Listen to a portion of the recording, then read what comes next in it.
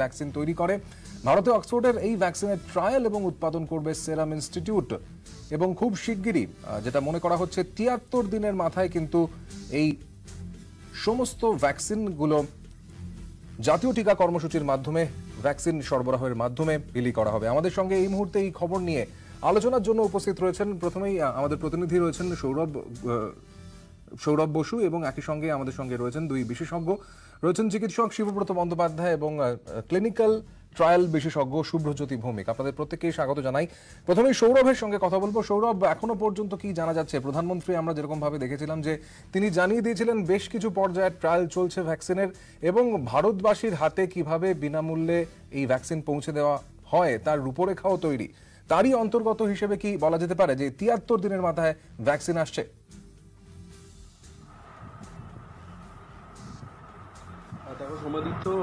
কালকেই হু জানিয়েছিল যে যদি নির্দিষ্ট সময় ভ্যাকসিন আমাদের হাতে চলে আসে, তাহলে পরে দু বছরের কম সময়ের মধ্যেই এই মহামারী শেষ করা যাবে। আজকে সকালবেলায় সুখবরটা জানিয়েছে সেরাম ইনস্টিটিউট অফ ইন্ডিয়া। তারা যেটা জানিয়েছে যে সব কিছু যদি ঠিকঠাক চলে, তাহলে পরে তিয়াত্তর দিনের মধ্যে ভারতের হাতে করোনার ভ্যাকসিন, কোভিশিল্ড চলে আসবে। কারণ সিরাম ইনস্টিটিউট অফ ইন্ডিয়া, অক্সফোর্ডের সঙ্গে তারা চুক্তি করেছে এই ভ্যাকসিনের ট্রায়াল এবং উৎপাদনের জন্য। তারা এখানে তৃতীয় পর্যায়ের ট্রায়াল শুরু করেছে শনিবার থেকে। দেশে সতেরোটা কেন্দ্রের ষোলো, ষোলোশো ভলেন্টিয়ারের উপর এই ট্রায়াল হবে এবং সিরাম ইনস্টিটিউট যেটা জানিয়েছে যে সব কিছু যদি ঠিক থাকে, তাহলে পরে তিয়াত্তর দিন, মাত্র তিয়াত্তর দিন মানে দু মাসের একটু বেশি এই বছরের শেষের দিকেই করোনার যে ভ্যাকসিন প্রতীক্ষিত ভ্যাকসিন সেই ভ্যাকসিন আমরা হাতে পেয়ে যাব। আর সবথেকে বড় কথা যেটা ভারত সরকার ঠিক করেছে যে জাতীয় টিকা কর্মসূচিতে এই ভ্যাকসিন ভারতের সর্বত্র কোনায় কোনায় ছড়িয়ে দেওয়া হবে বিনামূল্যে। বিনামূল্যে এই ভ্যাকসিন একশো চৌত্রিশ কোটি জনতার দেশের কোনায় কোনায় ছড়িয়ে দেওয়া হবে। এটা একটা খুব বড় খবর, বড় পদক্ষেপ কেন্দ্রীয় সরকারের তরফে এখনও পর্যন্ত যা জানা যাচ্ছে। সঙ্গে থাকো তুমি আমাদের সৌরভ। পাশাপাশি সংস্থা জানিয়েছে যে বিনামূল্যে ভারতীয়দের এই ভ্যাকসিন দেওয়া হবে এবং কেন্দ্রীয় সরকার আটষট্টি কোটি ডোজের বরাতও দিয়েছে। আমাদের সঙ্গে বিশেষজ্ঞরা রয়েছেন, বিশেষজ্ঞ চিকিৎসকরা রয়েছেন। ডক্টর ভৌমিক, প্রথমেই আপনার কাছে যাব এবং জানতে চাইব কতটা আশাব্যঞ্জক এই খবর, যখন করোনা আক্রান্তের সংখ্যা দিন দিন দেশে বাড়ছে, যদিও তার মধ্যে অবশ্যই মর্টালিটি রেট এবং সুস্থতার হার অবশ্যই পজিটিভ কিন্তু তার মধ্যে এই খবর কতটা আশা ব্যঞ্জক বলা যেতে পারে? তো এটা একটা বিরাট বড় আশার খবর। আর এটা আমরা যেটা দেখছি যে ফেজ থ্রি ক্লিনিক্যাল ট্রায়াল গতকাল প্রথম ডোজিং শুরু হয়ে গেছে ষোলোশো ভারতীয়দের মধ্যে। প্রায় সতেরোটা সেন্টার প্রত্যেকটি গভর্নমেন্ট মেডিকেল কলেজ হাসপাতাল তার মধ্যে শুরু হয়ে গেছে। আর গভর্নমেন্ট যেটা স্টেটমেন্ট দিয়েছেন, আজকে যেটা সিরাম ইনস্টিটিউটের স্টেটমেন্ট দেখা যাচ্ছে যে আমাদের কেন্দ্রীয় স্বাস্থ্যমন্ত্রী উনি চাইছেন, ভীষণভাবে ভারত সরকার চাইছেন যে এই ট্রায়ালটাকে দ্রুত শেষ করে ফেজ থ্রিতে প্রায় ষোলোশো জনের ওপরে আমরা এই অ্যানালিসিস হবে, কার্যক্ষমতা এবং পার্শ্ব প্রতিক্রিয়া নিয়ে দ্রুত শেষ করে বাজারে তিয়াত্তর দিনের মধ্যে এই ভ্যাকসিনটাকে যদি নিয়ে আসা যায়। তো এটা একটা বড় আশার খবর। আমরা আশা করব যে ফেজ থ্রি যে ডেটাটা হবে বা রেজাল্ট যেটা হবে সেটা আমরা পজিটিভলি পাবো। পজিটিভ পাবো আর এই কার্যক্ষমতা দেখাতে পারবে এই ভ্যাকসিন ভারতীয়দের মধ্যে। তো এখন অপেক্ষা, কিন্তু নিশ্চয়ই কেন্দ্রীয় সরকার একটা বড় পদক্ষেপ নিয়েছেন আর আমি তার স্বাগত জানাচ্ছি। অবশ্যই আপনার সঙ্গে আরও কথা রয়েছে। চিকিৎসক শিবব্রত বন্দ্যোপাধ্যায় আমাদের সঙ্গে রয়েছেন। আসার খবর তো বটেই এবং একই সঙ্গে যে সময়টা বলা হচ্ছে, তিয়াত্তর দিন সেইটা সম্পর্কে কি বলবেন? মানে এত তাড়াতাড়ি আমরা একটা, বলা যেতে পারে একটা রিলিফ বড় রিলিফ আমরা পেতে চলেছি, কি বলবেন? দেখো phase one phase two trial তো অলমোস্ট কমপ্লিট আমাদের ডেটাটা শুধু পাবলিশ হওয়ার অপেক্ষায় ফেজ থ্রি ট্রায়াল বাইশে অগস্ট থেকে শুরু হয়ে যাচ্ছে। সেকেন্ড ডোজটা ঠিক করা হয়েছে, ঠিক উনত্রিশ দিনের মাথায় দেওয়া হবে। এবং তার ঠিক পনেরো দিন পরে পুরো ডেটা কালেকশন হবে এবং সেই ডেটা নিয়ে তখন অ্যানালিসিস হবে। সুতরাং টোটাল যদি আমরা ক্যালকুলেট করি, তাহলে ওই মোটামুটি আড়াই মাস মতো সময় আমাদের লাগছে যে ফেজ থ্রি ট্রায়ালের একটা প্রাথমিক একটা ধারণা পাওয়ার জন্য। তো এই যে পদ্ধতিটা অ্যাকচুয়ালি ফেজ থ্রি ট্রায়ালটা এই যে প্রতিবেদনটা বেরিয়েছে, তাতে দেখবে লক্ষ্য করে ভারত সরকারও বলেছে সাত থেকে আট মাস আইডিয়ালি লাগার কথা। কিন্তু কোনো একটা জায়গায় আমরা ফাস্ট ট্র্যাকিং করছি।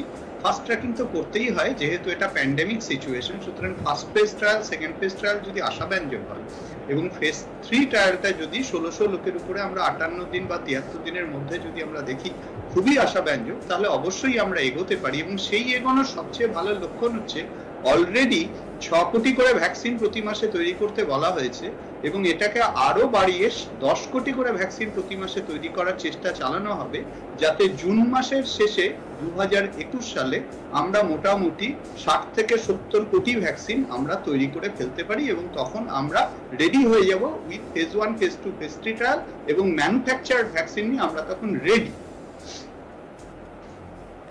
একদমই, সেটা অবশ্যই একটা আশার খবর তো বটেই এবং বড় সড়ো আশার খবর বলা যেতে পারে। সৌরভের কাছে আরও একবার চলে যাব। সৌরভ, যেভাবে দেশের সতেরোটি কেন্দ্রে ষোলোশো ভলেন্টিয়ারের উপর ট্রায়াল চলেছে, পাশাপাশি সেরাম ইনস্টিটিউট একদম প্রথম থেকেই ভ্যাকসিনের যখন বিভিন্ন জায়গায় পরীক্ষা চলছে, সেগুলো যখন নাম শোনা যাচ্ছিল, তখন থেকে কিন্তু অক্সফোর্ড এবং সেরাম এই দুটো শব্দ কিন্তু একই সঙ্গে উচ্চারিত হয়েছে এবং তারা কিন্তু পরপর পর্যায়ক্রমে একের পর এক ক্লিনিক্যাল ট্রায়াল করে এই জায়গায় পৌঁছেছে, যখন বিনামূল্যে সব জায়গায় পৌঁছে যাবে। জাতীয় টিকা কর্মসূচির মাধ্যমে ঠিক কীভাবে প্রত্যেকের কাছে পৌঁছে দেওয়ার ভাবনা চিন্তা রয়েছে সরকারের? এই বিষয়ে কি খবর রয়েছে তোমার কাছে? এখনও পর্যন্ত যেটা সেরাম ইনস্টিটিউটের তরফ থেকে জানানো হয়েছে যে কেন্দ্রীয় সরকার ইতিমধ্যেই ইতিমধ্যেই এখনও পর্যন্ত আটষট্টি কোটি ডোজের বরাদ দিয়ে ফেলেছে। একশো চৌত্রিশ কোটি জনতার দেশ, তার মধ্যে প্রায় আটষট্টি কোটি ডোজ এটা কেন্দ্রীয় সরকার বরাদ দিয়েছে সেরাম ইনস্টিটিউটকে এবং জাতীয় টিকা কর্মসূচির মাধ্যমে এই ভ্যাকসিনগুলো কেন্দ্রীয় সরকার নেবে।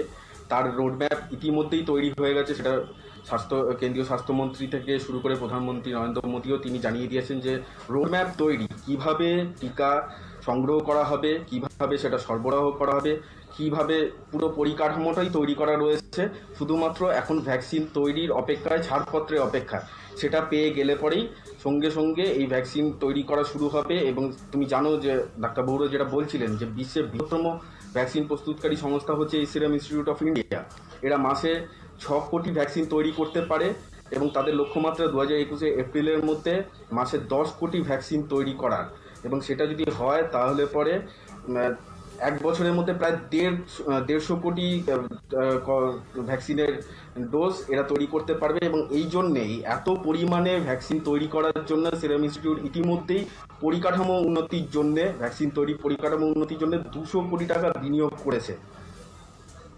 একদমই, এবং এক্ষেত্রে আরও একটা প্রশ্ন যেটা আমরা করতে চাইব ডক্টর শুভ্রজ্যোতি ভৌমিককে এই বিষয়ে আমরা বারবারই যখনই ভ্যাকসিনের কথা আলোচনায় উঠে এসেছে, তখনও কিন্তু সেই ভ্যাকসিনের কি পার্শ্ব প্রতিক্রিয়া থাকতে পারে তা নিয়ে প্রশ্ন উঠেছে এবং তার জন্যই প্রয়োজন ক্লিনিক্যাল ট্রায়াল ইতিমধ্যেই বেশ কয়েকটি পর্যায়ে এই ট্রায়াল হয়েছে, কিন্তু সেটা কত দূর মনে হয়? সেটা কি যথোপযুক্ত বলে মনে হয় আপনার?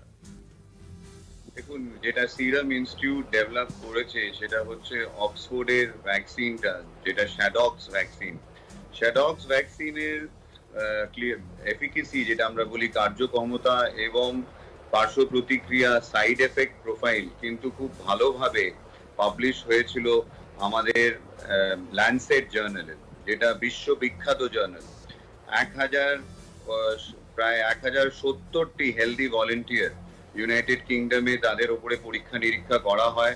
আর দেখা যায় যে তাদের পার্শ্ব প্রতিক্রিয়া কম এবং তারা সক্ষম হয়েছিলেন করোনা রোগটাকে প্রতিরোধ করতে। তো নিশ্চয়ই এই যে ভ্যাকসিন সে নিজের ফেজ ওয়ান ফেজ টুর একটা ভালো ডেটা এবং তার একটা ভালো রেজাল্ট নিয়ে দেশে ঢুকেছে। এখন আমাদের দেখতে হবে যে ভারতীয়দের মধ্যে এই সেই কার্যক্ষমতা দেখাতে পারছে কিনা।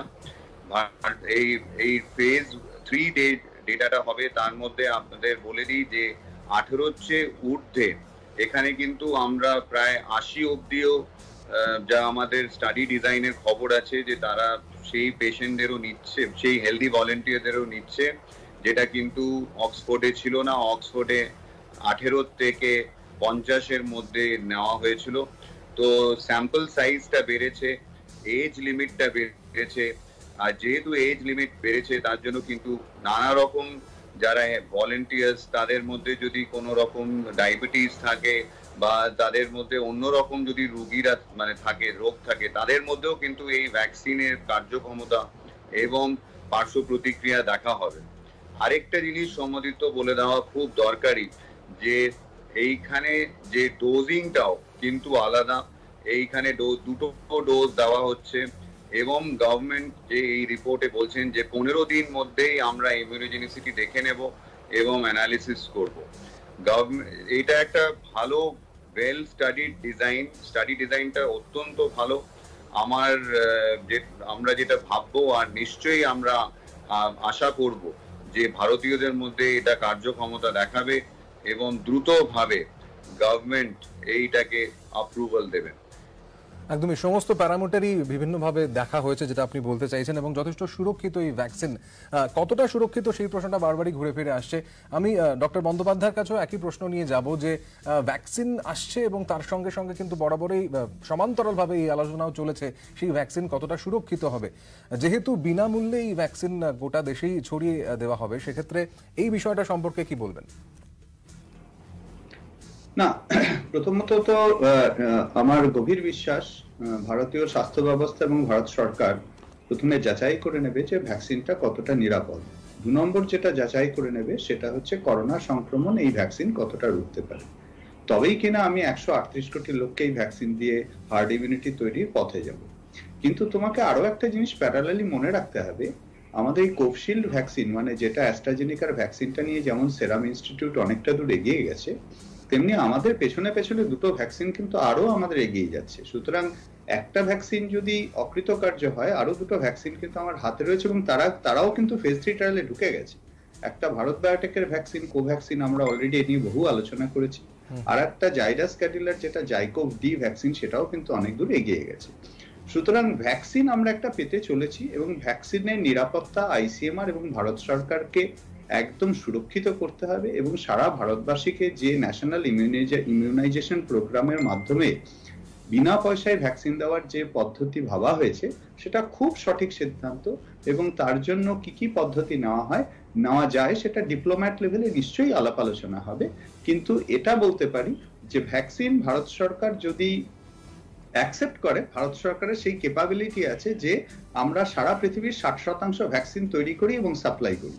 এবং আমাদের সেই সাইন্টিফিক প্রসিডিওর আছে। সুতরাং আমরা জানি কীভাবে নিরাপদে ভ্যাকসিনটা তৈরি করতে হয়, কীভাবে নিরাপত্তা সুরক্ষিত করতে হয় এবং কি করে ভারতবর্ষের মতো একশো আটত্রিশ কোটি দেশের সব লোককে ভ্যাকসিন দিতে হয়। কারণ আমরা পোলিও দিয়েছি, আমরা স্মল পক্স দিয়েছি, আমরা প্রচুর ভ্যাকসিন আমরা দেশের কোনায় কোনায় পৌঁছে দিয়েছি। সুতরাং আমাদের একটা ভ্যাকসিন দেওয়ার ইনফ্রাস্ট্রাকচার আছে।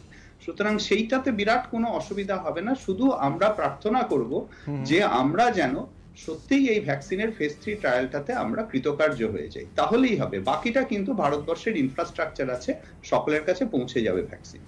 এবং সেটা হলেই আর মাত্র তিয়াত্তর দিনের মাথায় বলা যেতে পারে ভারতের হাতে অক্সফোর্ডের এই ভ্যাকসিন কোভিশিল্ড আসতে চলেছে যা সেরাম ইনস্টিটিউটও যৌথভাবে তৈরি করছে।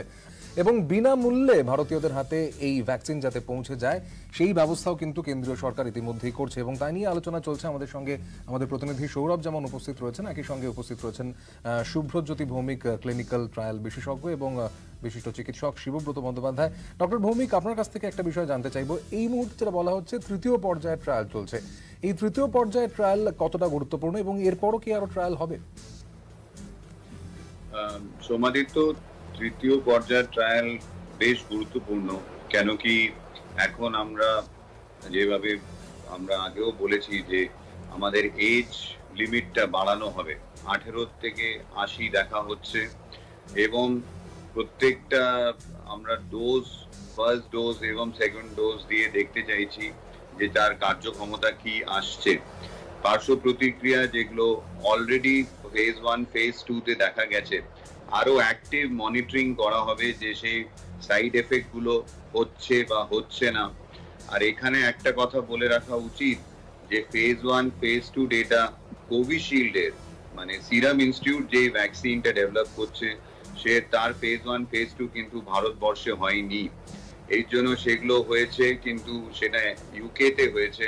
তো আমরা জেনেটিক্যালি কিন্তু ভিন্ন, আমরা ডিফারেন্ট জেনেটিক্যালি ভারতীয়রা এবং ইংরেজরা ডিফারেন্ট তো ওদের মধ্যে যে পার্শ্ব প্রতিক্রিয়া দেখা গেছে, সেটা আমাদের মধ্যে নাও হতে পারে।